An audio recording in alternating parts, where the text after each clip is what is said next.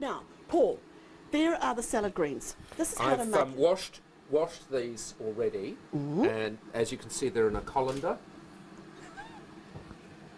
There's a bit of water there, as you Yes. can see.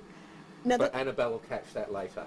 now, this is really significant, Paul, that you mentioned water with these. These are washed thoroughly, and even when the salad greens say, you know, they're already washed, I like to wash because you can, Yeah, you've got to 'cause they avoid. lie. They lie. They basically lie. What you need to do is get a clean tea towel. And here's a tip. If you have make a salad and all the dressing ends up at the bottom of the bowl, it's because you haven't dried your salad greens properly. Now, you can, of course, invest in a salad spinner, or you can do what I'm going to show you to do here now, Paul. Just swing it round your head Exactly. and you close pepper this. the entire kitchen with water drops. Are you ready for this, Paul? Yep. Swing it around. no, no, no, no, no. More of a rotary motion, Paul. More.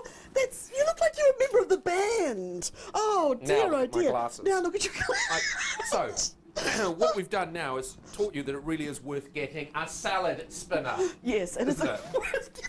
Now, find a, a small plate. It would be ridiculous to get a big plate. Yes. Spring onions don't like being prepared earlier. They go all brown and funny. So you're best to just chop up your spring onion like so just before you need it. So, how long before they go brown and funny? Well, sometimes about an hour or so. It's just a good idea just to do them fresh. You just use a little knife. You don't, you know. What, as opposed to a chainsaw? Yes, opposed to a chainsaw.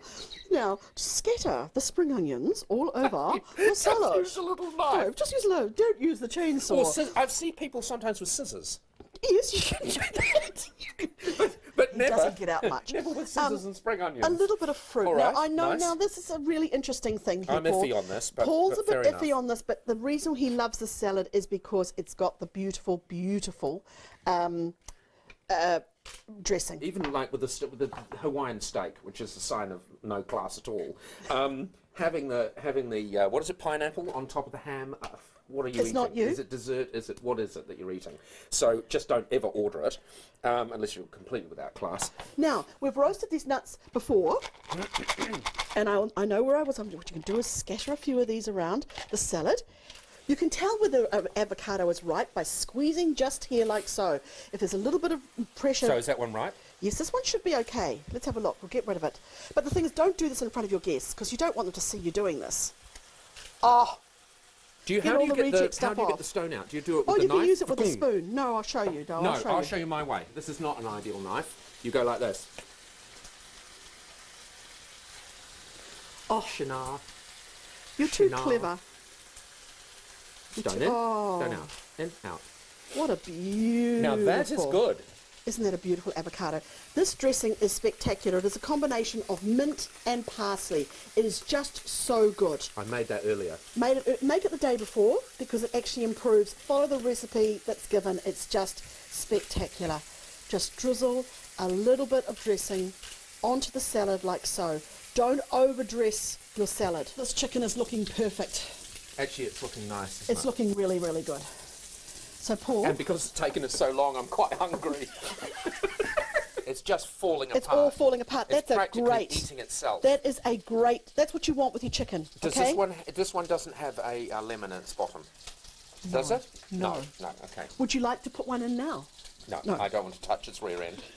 Okay, darling. Where are you gonna so put that? On the board, just to cool down. Just to cool down with the lovely warm bacon, which we just cook So off and extra chop off. Bacon. And just chuck that down there and put more paper towels on top. This cooking segment was brought to you by Paper Towels. Dibby dab, dibby dab, dibby dab, dibby dab. That's good, Paul. That's good. And look, Look at at that. Isn't that good? Mm. Now, Paul, I know you're mm. hungry. Now, keep the bacon, serve the bacon warm with the salad. That's really, really yummy.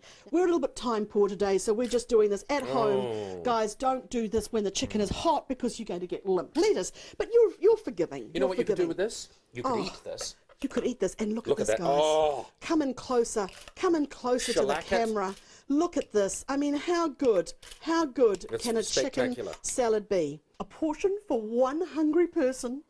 Right. Shall I go and take this and put it in the formal area? Yes, why don't you do that in the formal area and then we'll come back and make a sandwich?